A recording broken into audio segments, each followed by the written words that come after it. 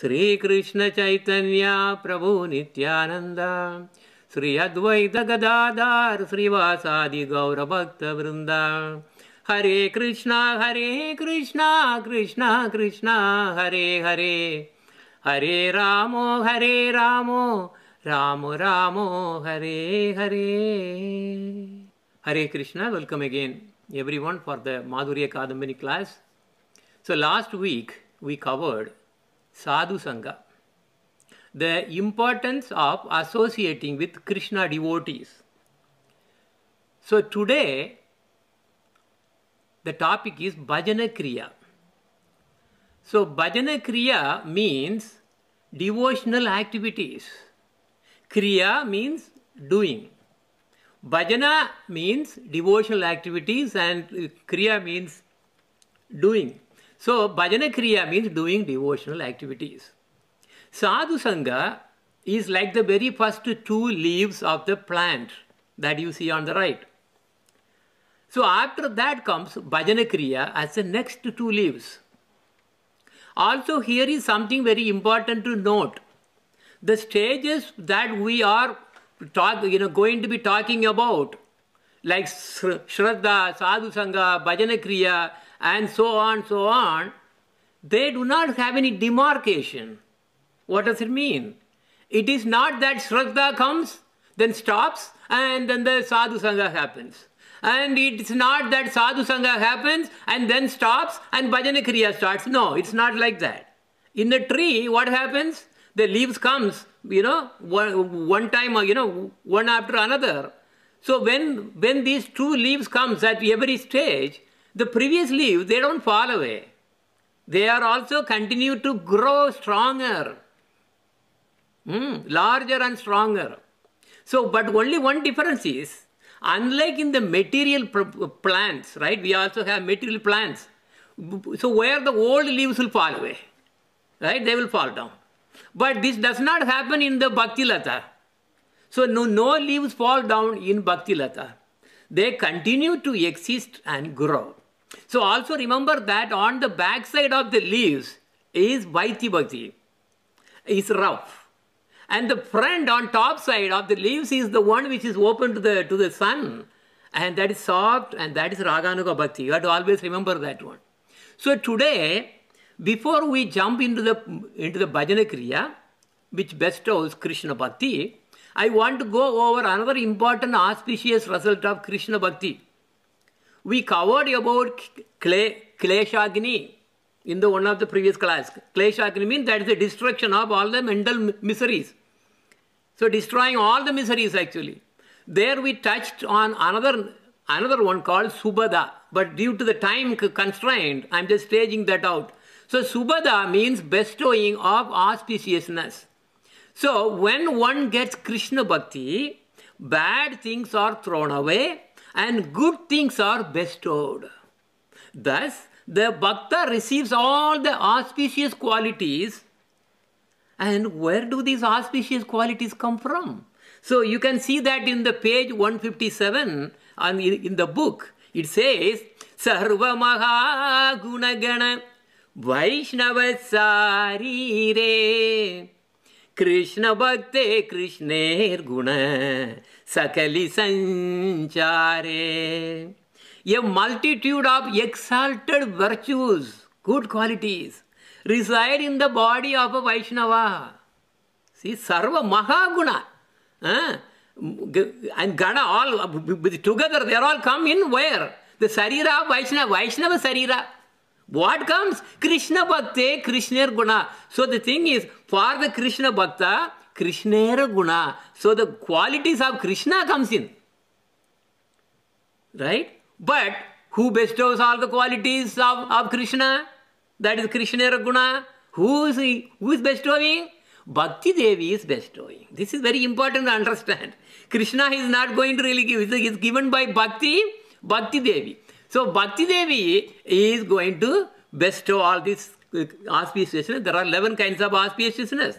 Anukulya, Kripa, Kshama, Satya, Saralya, Samya, Dhairya, Gambhirya, Manadatva, Amanitva, Sarva Saubhagya. So So we will actually touch very quickly about these qualities. So the first one is anukulya, means kindness.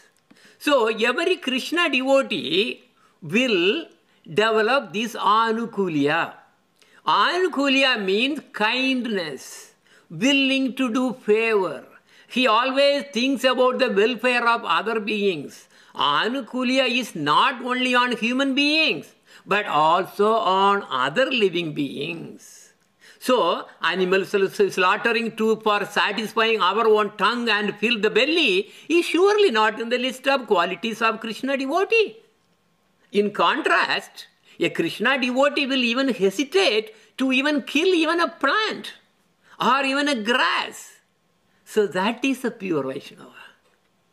So the second one is Kripa. Kripa means mercy. A Krishna devotee will also possess the quality of being merciful to others. Because Bhagavan has mercy.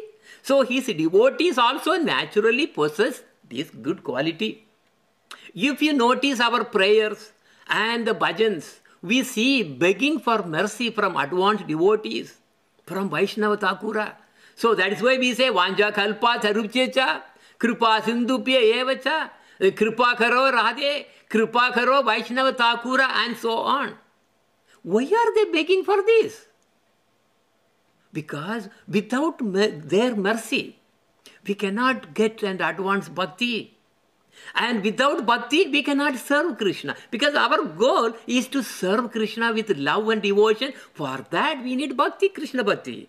So, in order to serve Krishna, we need bhakti. And in order to get bhakti, we need mercy from pure devotees. Because they have it. And only they can give it. Nobody else has that. Well, Krishna is hesitant. He see, Krishna is hesitant to give Krishna Bhakti. I will tell you. As you go, go higher and higher and understanding Shastra, you will be able to understand what I mean. However, his pure devotee, on the other hand, is more merciful than him. so while Krishna is hesitating, his devotees are more merciful. This is because of the Bhakti Devi. So that is Kripa. The Vaishnavas have it. That is Kshama. Kshama means forgiveness. People in general tend to make mistakes, but no one can escape from the results, karma. So the punishment or the karmic results follow. When people do criminal acts, the government punishes them by putting them in jail.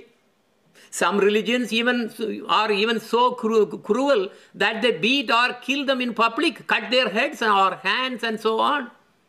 But we never hear this type of act in the life of any Vaishnava sadhus. Even the Lord wants to, even when the Lord wants to punish, a sadhu will interfere and then stop it. When Lord Chaitanya Mahaprabhu wanted to kill Jagai and Madai because they really insulted, you know, Nityananda Prabhu and Srila Haridas Thakura, and when he really invoked the chakra, chakra came and he was about to cut the head of these Jagai and Madai. But what happened? The same Nityananda Prabhu, who was really, you know, hurt because of Jagai and Mada, who stopped it. Oh Lord, no, no, no, you please bestow mercy on them. Look at the, the difference between the Lord and the devotees. So you all know the story of Srila Haridas Thakura. Even though he was severely beaten with the sharp bladed whips in 22 marketplaces, and almost all the flesh from his body were all gone, and just his bare bones left. He was still begging the Lord to forgive those who were beating him. How many Jesus Christ that you can put on this, this one act alone? So the fourth is Satya, truthfulness. Speaking truth implies a pure heart. What does it mean?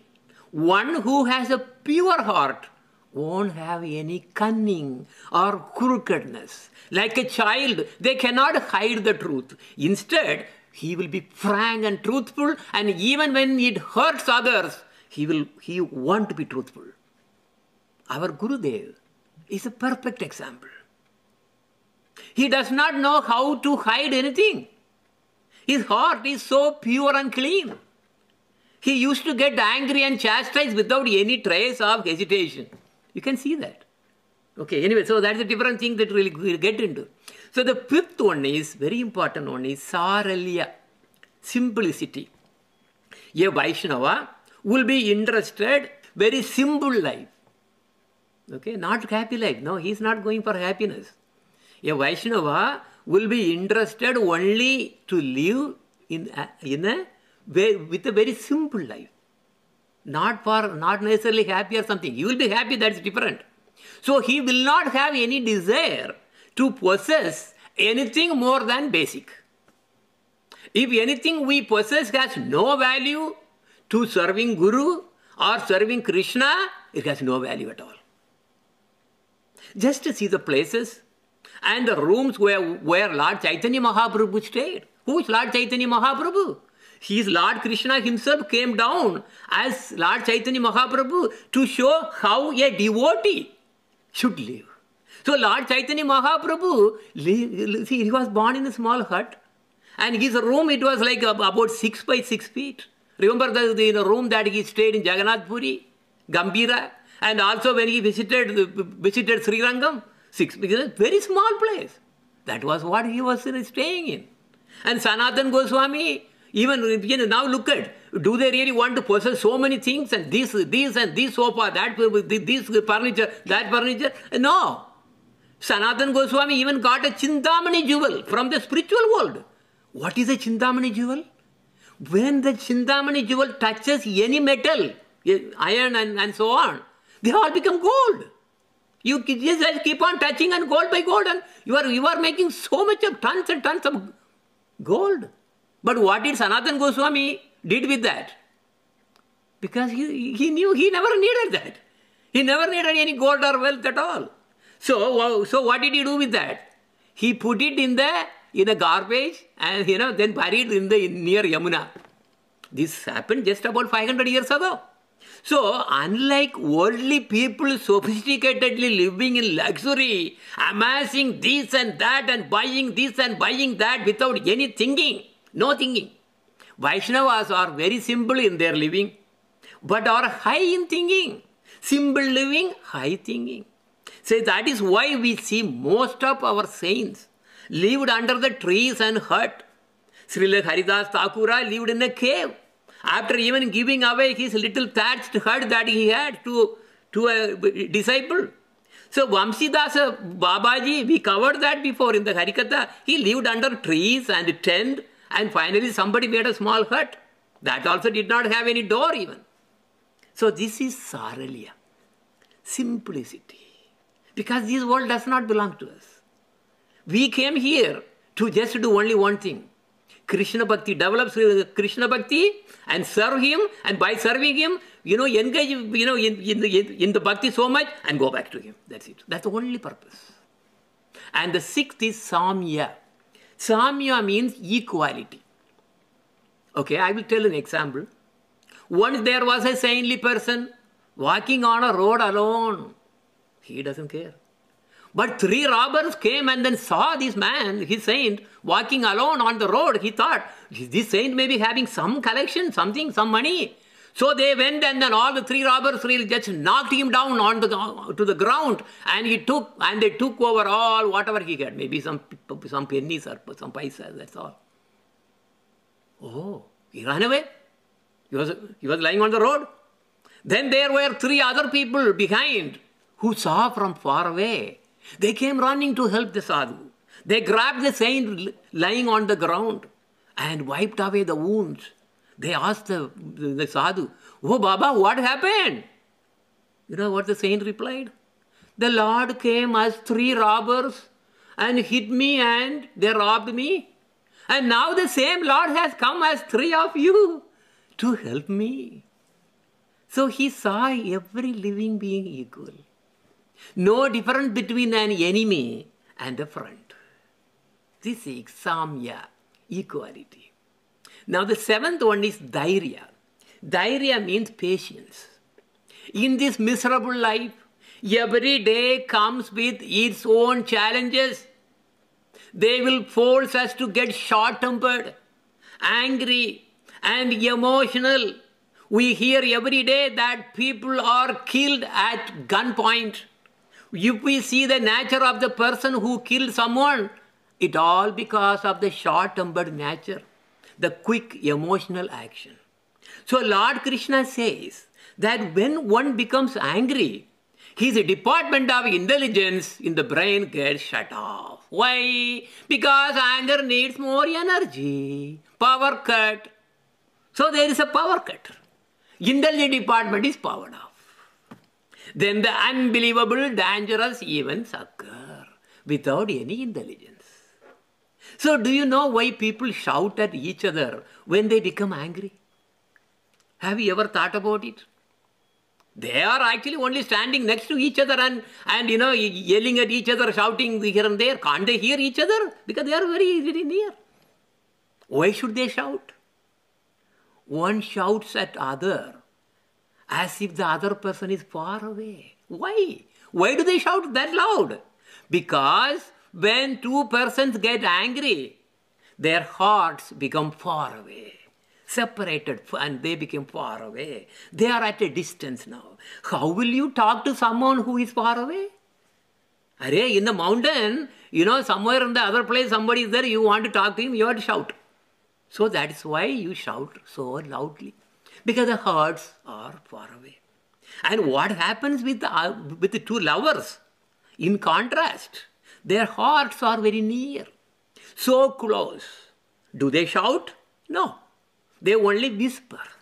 Why? Because their hearts are very closer. Anyway, this quality, dhairya, makes one calm. Even in the midst of big problems, one will be able to exercise patience. Now, the eighth quality is gambhirya. Gambhirya means gravity, very strong. The guru actually means exact shakshat gambhirya. Guru means what? Heavy. So with this divine quality called Gambhirya, a Krishna devotee, especially a, especially a Guru, never becomes afraid of telling the truth at any time to anyone. That is their natural quality. They also chastise the ones, dependent ones, without any hesitation. Or especially disciples. Yes, you can see that the life of our Gurudev. And also, you know, like, you know, you see the picture, you know, this is Gaur Govinda Maharaj.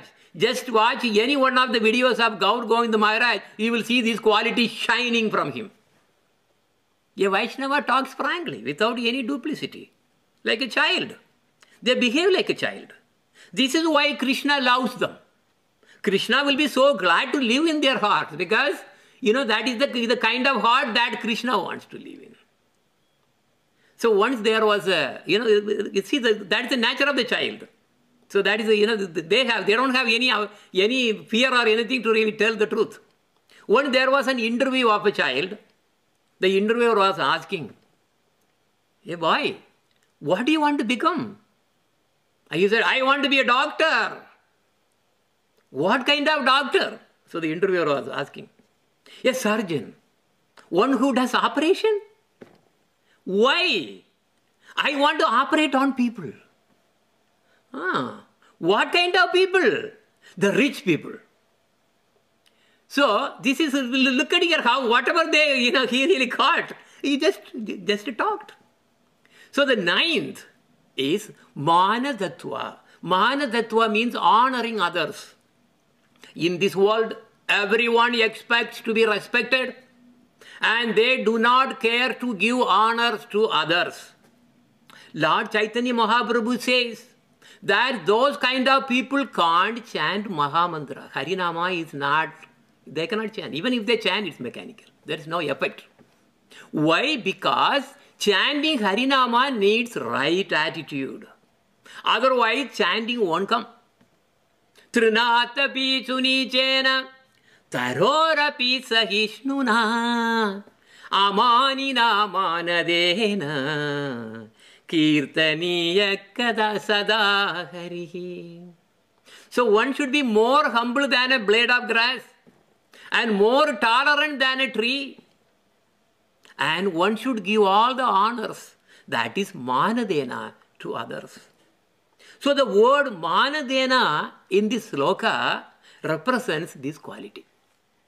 Manadena or manadatva means honoring others.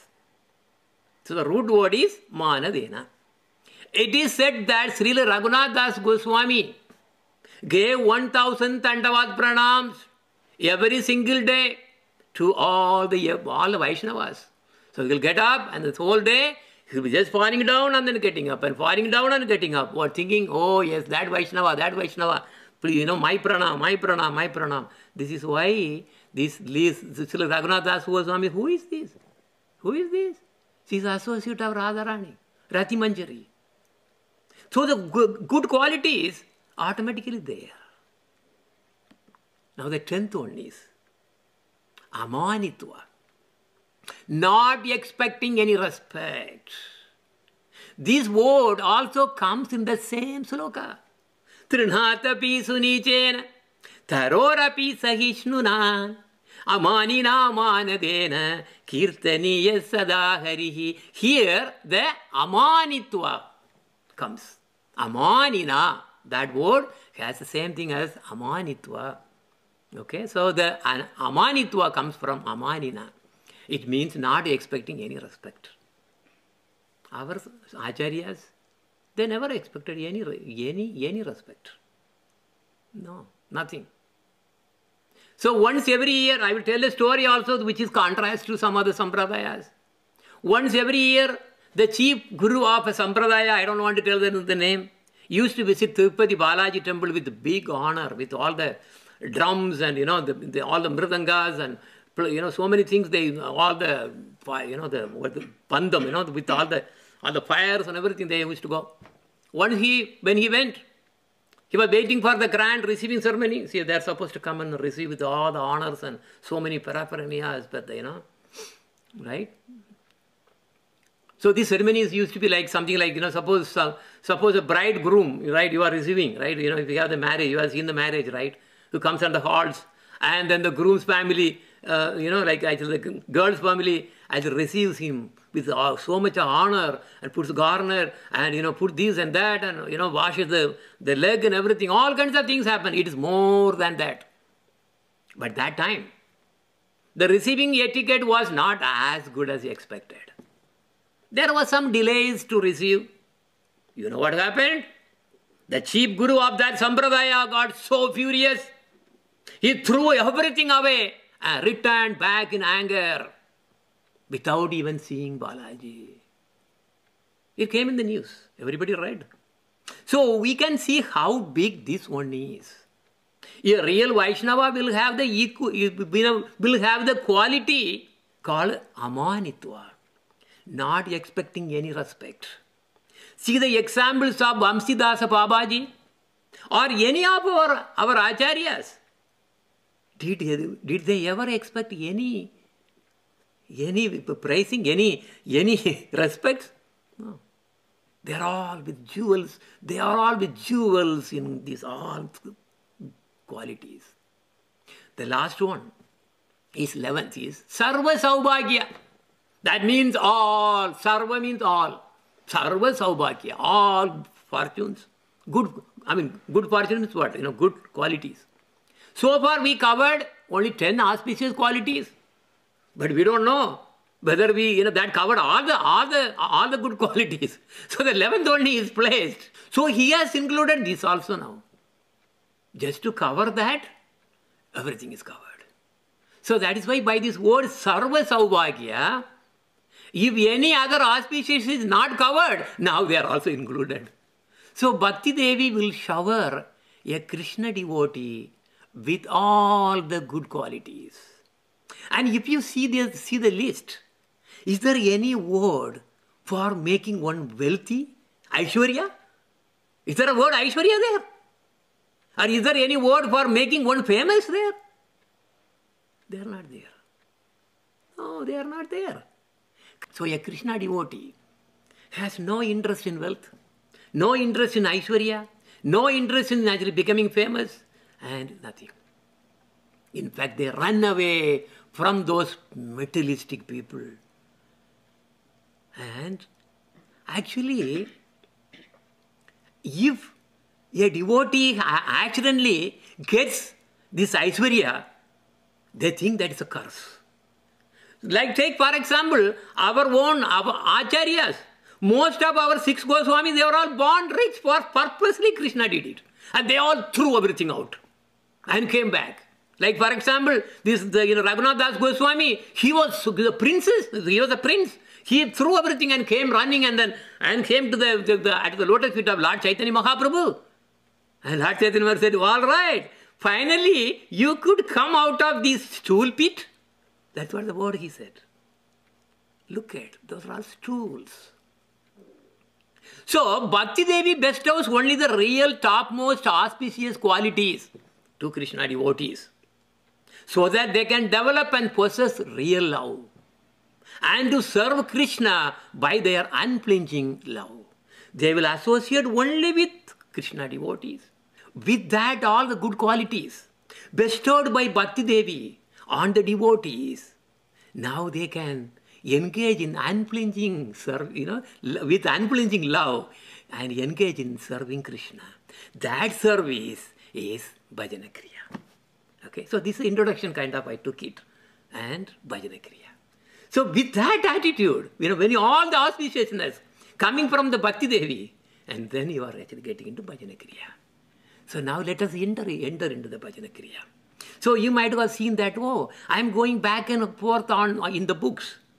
Because that's why, because I'm trying to, to explain in such a way that you can understand easily. You try to, you know, try reading the books for, after three pages, you will go to sleep.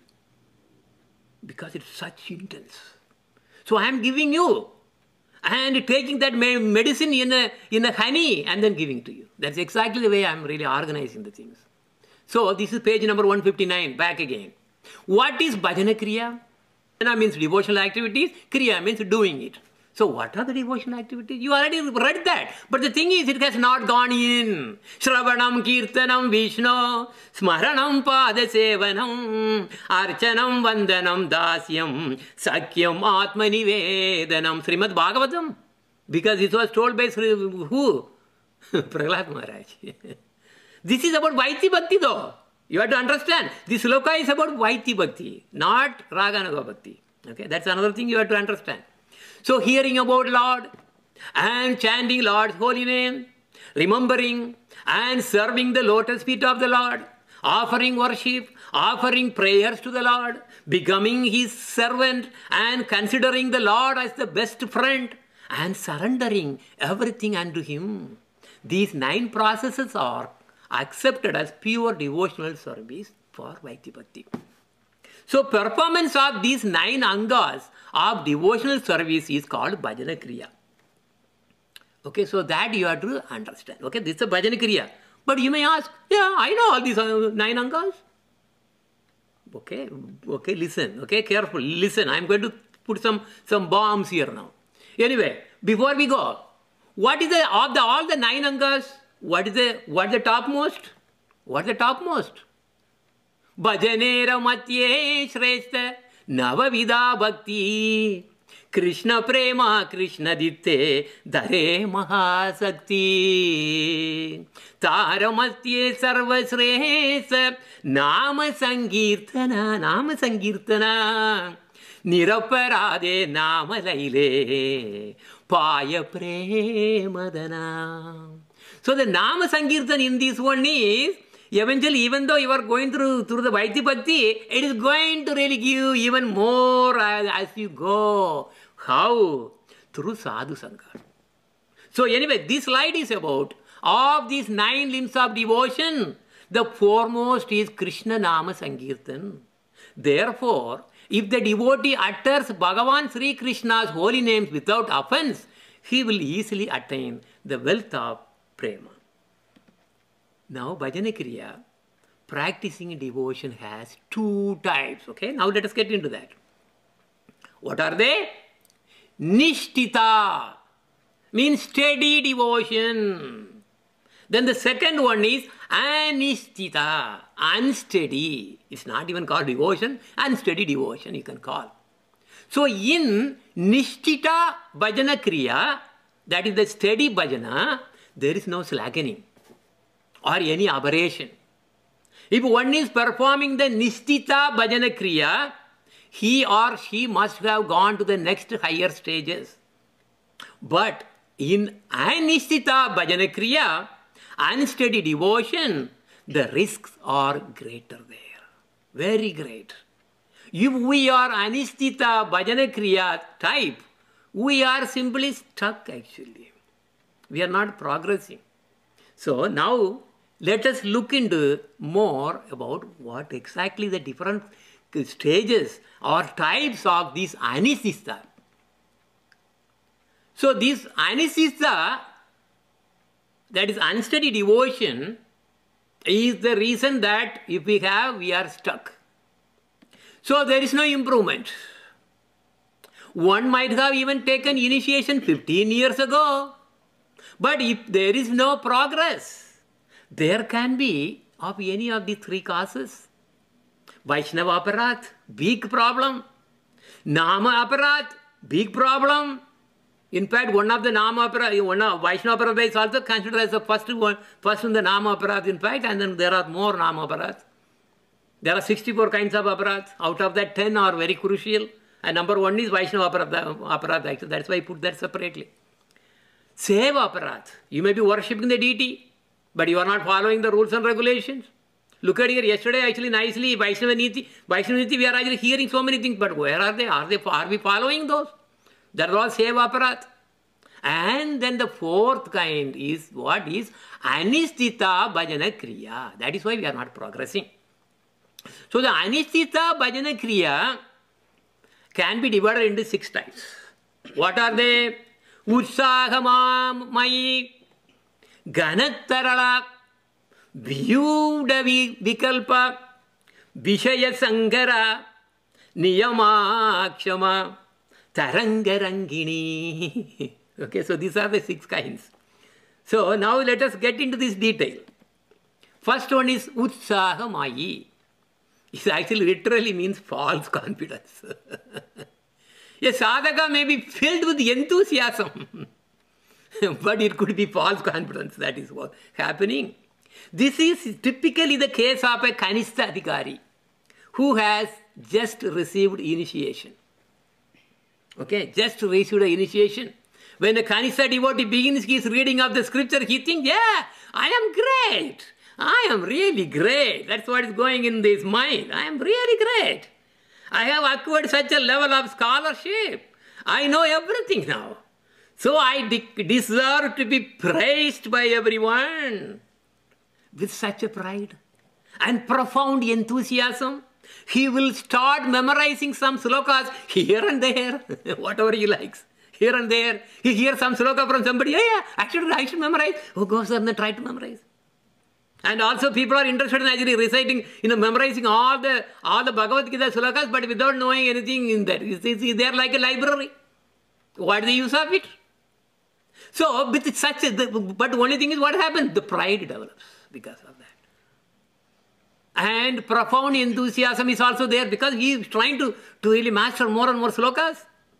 So he will memorize so many, try, will try. And he will also start reciting in front of others. Uh, you know, to show how good he is. He then becomes intensely absorbed in his further studies again. But what he does not know is that actually he has only just begun. It is only a beginning. He just is stepping on the door.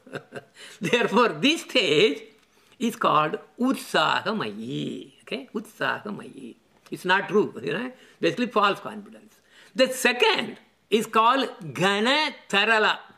What is Gana Tarala means?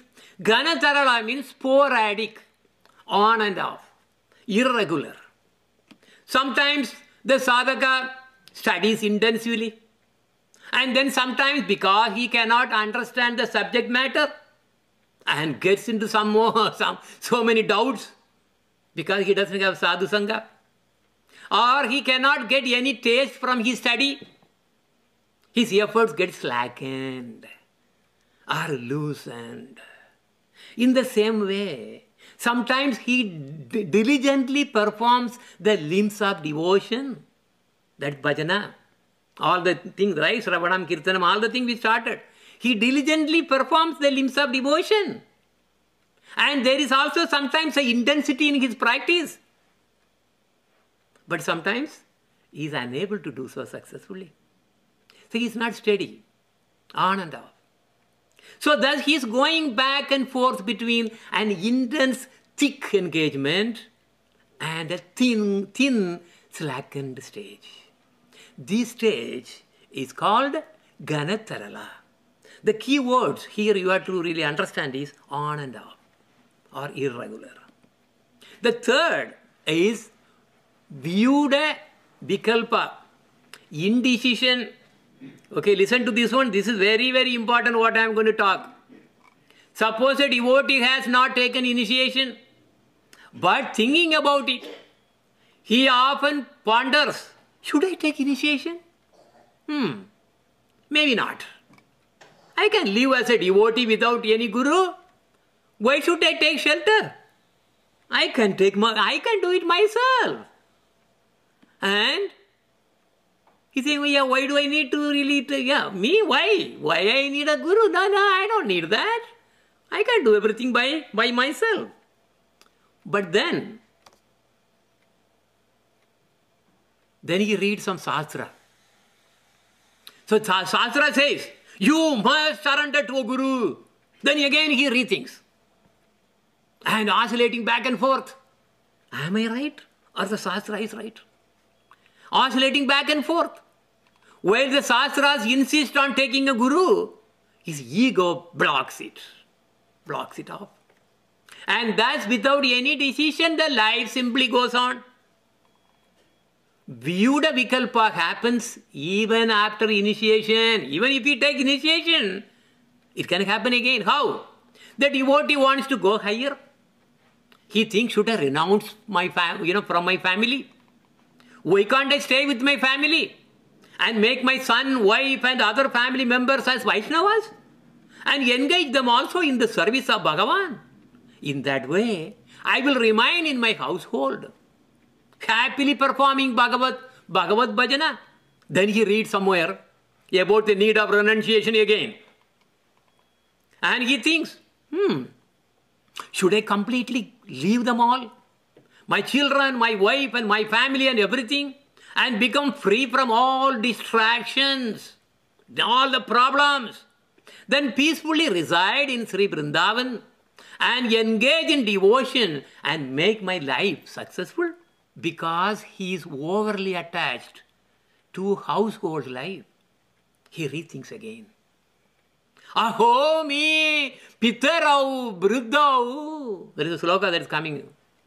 Alas, how will my aged parents and my wife and children survive without me in their distressed and helpless condition?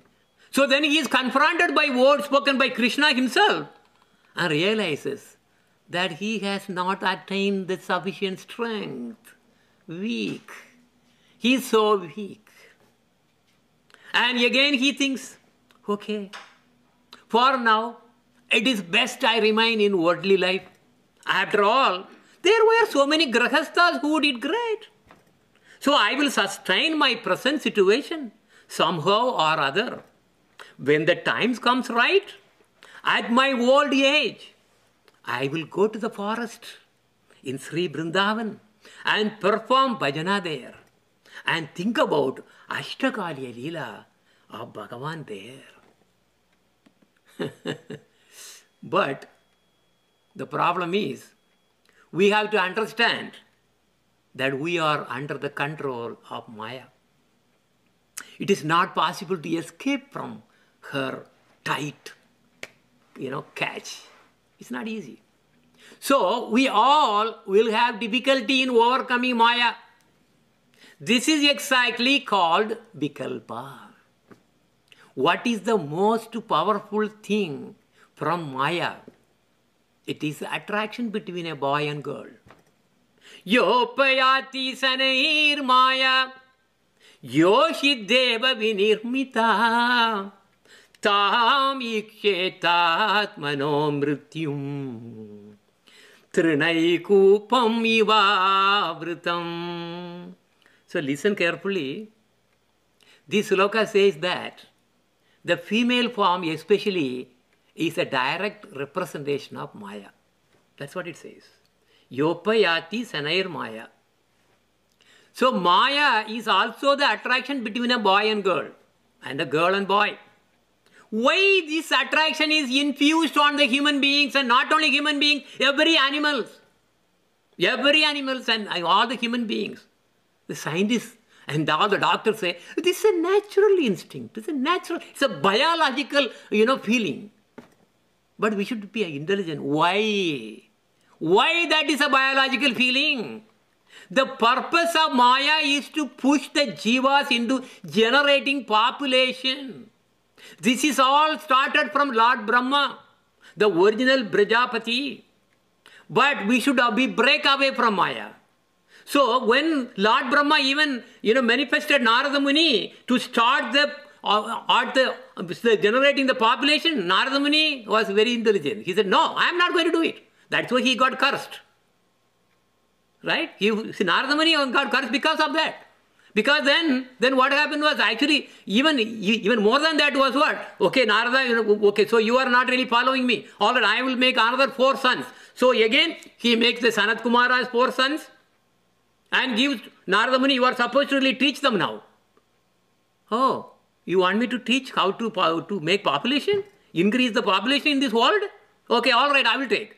You took all the all the four, four, four sons, Sanat Kumara, and what did he teach? He taught you should never get into the trap of Maya. Get out of that. That's it. With, with his blessing, the Sanat Kumara is still there in as a boy.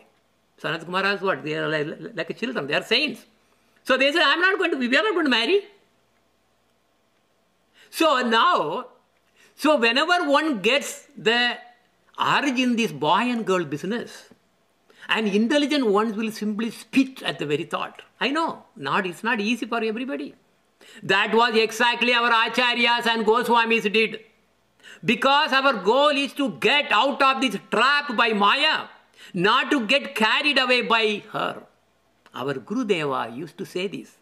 Stay unmarried. Do not come to my programs searching to really, to really get some brahmacharis or somebody to really get married. No. Stay unmarried. If you marry, marry another comparable devotee, not some junk. Then do not bring any children. You live as a, as a pure devotees and go back to Krishna. If you marry, right?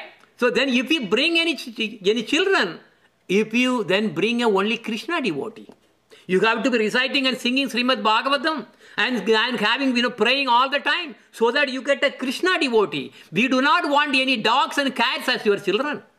This is our Gurudev said. And have headache throughout your life. If you get a wrong wife and a wrong child, your life is finished. You are in hell, perpetual hell, constantly tortured in hell. This is our Gurudev. So an intelligent person he sees this Maya as his very death. That's why in the sloka it says, Trinai kupam ivavritam. So, so just, so what is the meaning? It's like, just as seeing a woman is like what? You are seeing a well, blind well, covered with some nice grass. But you walk on the grass, you fall down in the trap. This is what the sloka says. Mrityum Trinai Kupam. Kupam means a well. And Trinai means covered by, by, by grass. Trinata, you know, Trinai is what it is at. Mrityum. It is your the very death. The very death covered, well covered, very nicely covered by grass on the top. A, a, sadhaka understands that it is advised not to put any faith in the Grahastha asrama, but to renounce it immediately, immediately. But again, another doubt comes in the sadhaka's mind. What is that? Why don't I enjoy for some time, some more time in, in my current youth, and then renounce everything in my old age? This he thinks he has intelligence. With these thoughts in mind, he spends his life. However, then he comes across this passage. What is the passage? This is from Srimad Bhagavatam. Yo sutan sukrit rajyam hridi sprishah jahau yuvaiva malavat uttamak shlokalalasa. See, this is about Maharaj Bharat. Bharat Maharaj. So, what is the meaning? Being desirous of performing bhajana to Lord Hari all the time, engaged in bhajana, engaged in devotional activities, only in devotional activities. Maharaja, he was a king. He was, he was the king who really, he was like ruling the entire Bharat kingdom. That is why the name Bharat came. So the Maharaj, Bharat Maharaja, gave up everything in his youth, not at the old age. In his youth. That time, of course, for anybody who is very impossible, impossible to renounce. But he renounced his very beautiful wife, wonderful children, all the friends, all his wealth, all enor- enormous empire, and all the celestial opulences, everything he renounced. How did he renounce them? That is other thing. How? That's what he said. Malavat. Yuvaiva Malavat. How did he renounce them? Just as one who passes the stool flushes it and never thinks about it again. This is how. This this sloka, you have to read all these. These slokas people don't read. They will go simply go, go somewhere, somewhere else and then whatever they like. The, now that sadhaka believes that it is only proper for him to live his household life and at that very moment, that very moment. But again he rethinks. Aho me pittarau vruddau. See that line I, I quoted before also. Aho me pittarau vruddau. Baharya balat majhat majha. Anata mam ruthe dina. Katam jivanti dukkita. Srimad Bhagavatam again. Oh alas, my parents have become elderly and my children are young. Without me, they will be orphaned and suffer unbearably and become poverty stricken. How will they possibly survive? Therefore, he thinks it is proper that I renounce family life. After my, when? After my mother and father pass away and my children have grown up. Then I will retire for sure to Vrindavan and will never return to this worldly life. But what happens? Children get educated, children get graduated, children get married. Then you think that you can return to the forest. No, no, no, hold on, hold on. But now very serious thing comes. The grandchildren are being born and they will be dumped in your hands, in your laps. Then you think, oh, I will be staying there for some more time and I will retire after the grandchildren are grown up. So you are already passing the life more. Now they are also grown up too. But you can't walk. You are getting older. You can't hear. And you can't even see things properly. Your you know, heart problem goes uh, skyrocketing. Your diabetic situation is getting worse. And you are being admitted into the hospitals on and off and on and off. Every month, two or three times on and off. Now you weep that you should have renounced earlier. But it is too late to be independent now. And you also worry about your grandchildren to be now what? Married. Array, where is this going to end? So can you really renounce now? No. Now there, why? Now, now what is happening is, you are in the hospital, you know, going to going for the treatment for the big problem there sometime. Yama Raja knocks at the door, there, toing, toing, toing. Now the sadhaka wasted his entire life in oscillation. One thought pulling towards renunciation, and the other thought pulling to stay and be part of the, you know, right? One thought pulling towards renunciation, and the other thought pulling to stay and be part of this world. Krishna has responsibility. When you give to give everything to him, can't he take care of? He is even digesting our own food. He is the one in the night, he is making sure your heart is beating all right every day, correct? Can't he take care of your, your own children? Because you are, why are you really renouncing? You are renouncing for the sake of Krishna. Isn't it that his obligation that he will take care of your, your dependence? You don't have belief. This is the problem. So one thought pulling towards renunciation, and the other thought pulling to stay and to be part of the world. And confused every day. He has spent most of the rare human life in vain. And what is the destination of such a person? Where will Yamaraja take him? Srimad Bhagavatam says it, says about it. Yevam griha sayad hipta hridayo muda dhirayam. He's a muda. in mritto andam vishate tamaha Srimad Bhagavatam where will he go? Mritto andam vishate tamaha. He will fall down to the deepest region of hells. And did he really enjoy and look at the other side. Did he really enjoy this material life either? No. This foolish person being knocked on his head again and again, but his own, you know, family members on the head. No, you did this one wrong, that, this, they all kinds of nonsense problem. A foolish person always, he lived in perplexion due to the, his desire for household pleasures. See, son, daughter, grandchildren, this is the problem. He never gets satisfied. He's never said, Evam griha sayas hipta. He was a Muda. He spends his life wallowing in thoughts of his kith and kin. What is his kith and kin? What is this kith and kin? Where did they come from? Did you, did you bring from heaven, uh, from somewhere?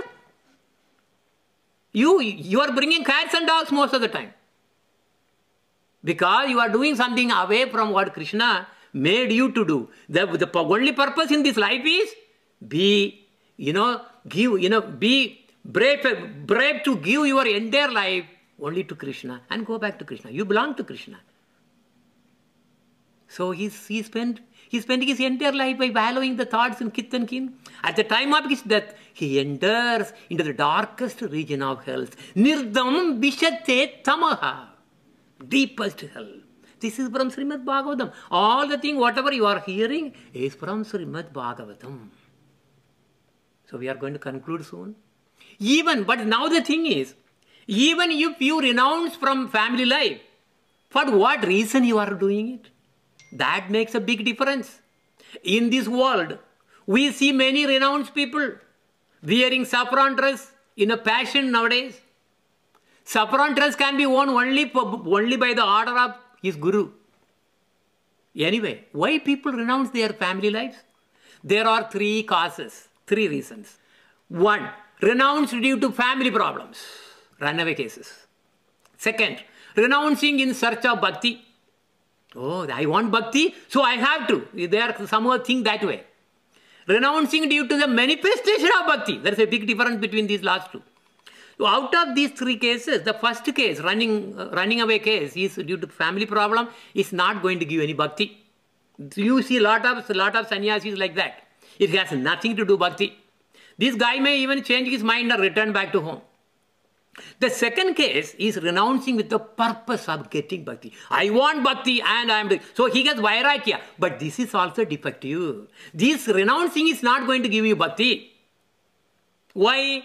We studied in the, in the, in the previous class. Bhakti Devi is not you know dependent on anything.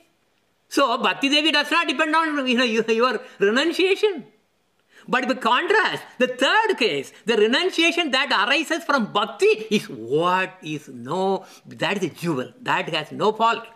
So renunciation comes from pure bhakti.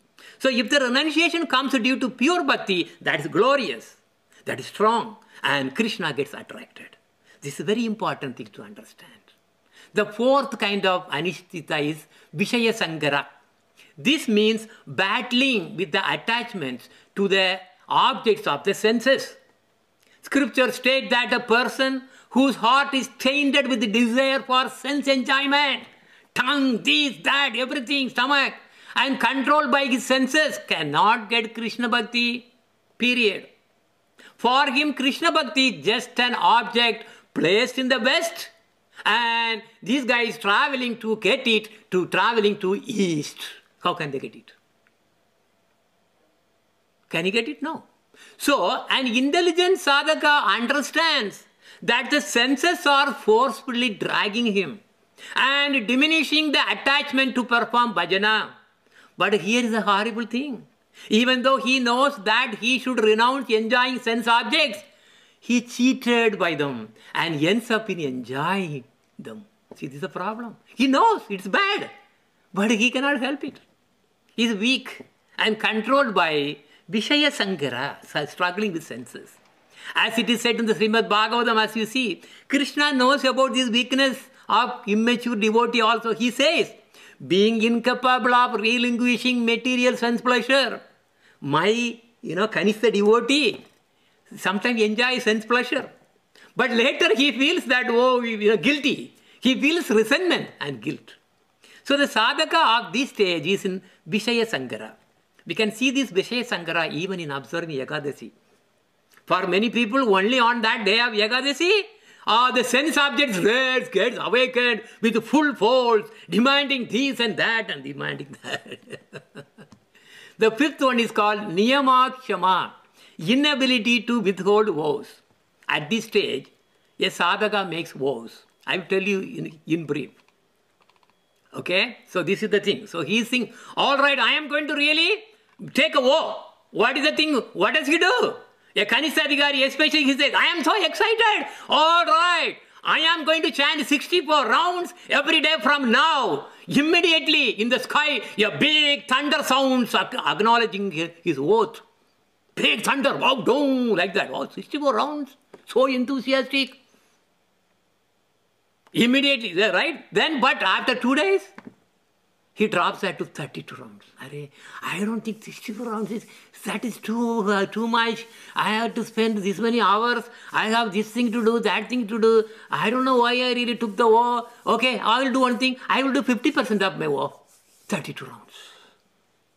So, but you will say that, boy, I took a war anyway. But so I will make the 32 rounds. I will, I will adjust it in the next day, later. So, it drops to 32 rounds and leaves the 32 rounds on the Gandhiji account. That. So he's that on the next day, he will do these extra 32 and catch up. Like after a week, it drops to the 8 rounds, adding more to this Gandhiji account. After a week, it drops to just 4. After another week, it drops to just 2 now. After a month, his debt is now 252 rounds. How is he going to clear his debts now?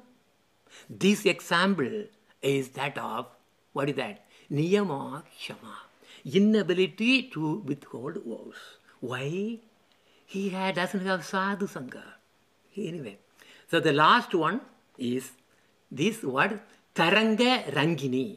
Enjoying the facilities of bhakti. Are, I am a bhakta. See, what happens is, just as the water flows naturally downward, the people's affection naturally flows towards the devotee because he has the aura. He has the, the, the, the tejas to attract people because then Krishna has empowered, Krishna has given. So those who engage in one-pointed devotion to Sri Hari satisfy the whole creation by their devotional worship. That's what it's saying. Atma Purana says this. येनार्चितो हरिस्तेन तर्पपितानि जगन्ति अपि रज्यन्ति जन् जन्तवस्तत्र जङ्गमास्तवरापि So the result of such attraction is that what is the thing? What it is saying? It is talking about the Tarangarangini. So because of the attraction, people will come and then give honor and worship you, worship the devotee, and the devotee may get trapped into enjoying this mundane enjoyment. Illusory spiritual bliss. And even mystic power, sometimes he will see some mystic powers and he gets attracted. We see these examples a lot. You know, this is something that just I happen to see. It is in every commercially oriented religious, uh, religious organization. A preacher becomes so famous and gets so much of wealth, so many things, money, gold, diamonds, and costly cars. private jets, and so on. Sometimes he, you know, that, that priest, you know, these kind of priests, they declare themselves as God, or he's a representative of God himself. These have nothing to do with bhakti. So, in fact, to conclude, a real Krishna devotee will do the exact opposite. Pure devotees of Krishna run away from wealth. They do not want Aishwarya. They will run away from fame and siddhic powers. Actually, if a Krishna devotee wants all these things, just by merely thinking about it, he will get it. He can get everything. But they will never, never even think about that stool. That is why they are not looking. They, for them, this is stool. Remember Chaitanya Mahaprabhu said, Oh, oh, you know, to, to who? Uh, Das Goswami. You came out, you could come out from that stool pit. Then why should a sadhu, a pure Krishna devotee, will ever think about this stool again? A pure devotee, on the other hand, he wants only devotional service, loving service to Krishna all the time. They will be always seeing, seeing the seeing the Leela, Ashtakaliya Leela, all the times with, with the Lord. So they do not want anything related to wealth, worship, fame, material enjoyment, going to heaven. A lot of people are desperate on going to heaven. Liberation, mystic powers, because all such things are not favorable to Krishna Bhakti. They are actually the biggest stumbling blocks for Krishna Bhakti. So we should follow the footsteps of our Acharyas and Goswamis. Lord Krishna himself came down as Lord Chaitanya Mahaprabhu to teach us how a Krishna devotee must be. And Lord will take care of everything for you. You don't have to worry about anything. Look at here. That is the beauty. When Lord himself is actually behind you, why should you really worry about anything? But the thing is, because of these, all these, these things, what we really, you know, really uh, covered, right? All the, all the obstacles, we are stuck because of our own mind and our own thinking. And with that, this is a summary of the class. Krishna Bhakti removes all kinds of miseries. Kleshaghni, that we covered earlier. Krishna भक्ति bestows eleven kind of auspiciousness आनुकूल्य कृपा क्षमा सत्य शारल्य साम्य धैर्य गांभीर्य मानदत्व अमानित्व सर्व सौभाग्य and भजन क्रिया is two types अनिश्चित एंड निश्चित निश्चित मीन्स स्टडी एंड निश्चित means unsteady that's what we spend most of the time today to go over And also we saw the best Bhajana Kriya is Nama Sankirtan. Anyway, so then we discuss about the Anisthita Bhajana Kriya. There are six types. What are they? Utsahamayi, false confidence, and Ghanatarala, sporadic, ananda, and Vyudha Vikalpa, indecision, oscillating back and forth, Vishaya Sangra, struggling with our senses, and Niyama Kshama, inability to withhold vows, whatever the vows that we take. And also, of course, Guru, you know, like Guru says, you have to chant 16 rounds, but we are unable, unable to do it. That's also, that's also Niyamakshama. Then sixth one is Taranga Rangini, enjoying the facilities of bhakti. And pure bhakti also we covered. Pure bhakti does not come from renunciation, but it's other way. Renunciation comes from pure bhakti. Okay? And pure bhaktas run away from wealth, fame, and Ashtasiddhis and all those. With that, thank you so much. And the next shower will be number six will be Anartha Nivritti. We will have in two parts, part one and two. Vancha Kalpa Tarubhyascha, Kripa Sindhubhya Evacha, Patitanam Pavanebhyo, Vaishnavebhyo, Namo Namaha. Thank you. Hare Krishna.